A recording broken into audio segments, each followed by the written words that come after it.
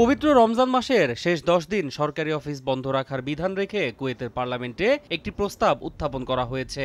রোববার কুয়েতের MP Hamad Al Obaid এই প্রস্তাব উত্থাপন করেন। এমপি বলেন, রমজানের শেষ দশ দিন অফিস আদালত বন্ধ থাকলে কর্মজীবীরা বেশি করে ইবাদতে মশগুল থাকার সুযোগ পাবেন। পাশাপাশি অন্যান্য ধর্মীয় আচারও যথাযথভাবে পালনের সুযোগ পাবেন। প্রস্তাবটি গ্রহণ করে এরই মধ্যে এটি যাচাই বাছাইয়ের জন্য পার্লামেন্টের মানব সম্পদ বিষয়ক কমিটিকে দায়িত্ব দেওয়া হয়েছে।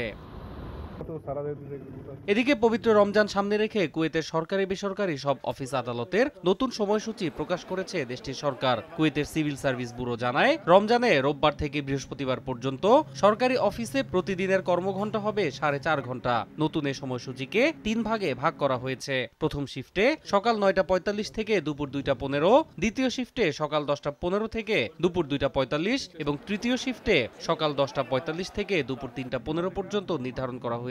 রমজান মাসের অফিসের সময়সূচি। প্রতিটি সরকারি সংস্থা তাদের নির্দিষ্ট পরিস্থিতি ও কাজের প্রকৃতি অনুযায়ী নিজ নিজ সময় বেছে নিতে পারবে। অফিস চলার সময় রাস্তায় যানজট নিরসনে পরীক্ষামূলকভাবে এই সময়সূচি নির্ধারণ করা হয়েছে বলেও জানানো হয়। এছাড়াও রমজান মাসে কুয়েতের বিভিন্ন পাবলিক প্রাইভেট এমনকি ব্যক্তি মালিকানাধীন অফিসেও কর্মঘণ্টা দুই ঘণ্টা কম থাকে। এতে স্বস্তিতে রোজা পালনের সুযোগ পান সাধারণ মানুষ।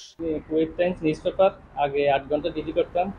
রমজান মাসে ইনশাল্লাহ ছয় ঘণ্টা ডিউটি করব। সাধারণত কাজের কাজটা কম থাকে রাস্তাঘাটে জামও কম থাকে মানুষ সবাই রোজা রাখে। তবে বিভিন্ন অফিস আদালতে রমজান উপলক্ষে কর্মঘণ্টা কমানো হলেও কোথাও কোথাও এর কোনো পরিবর্তন হয় না বলেও জানান অনেকে।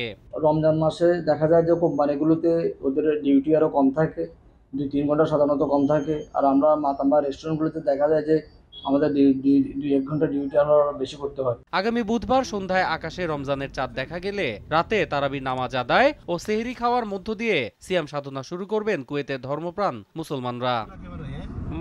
সময় সংবাদ কুয়েত।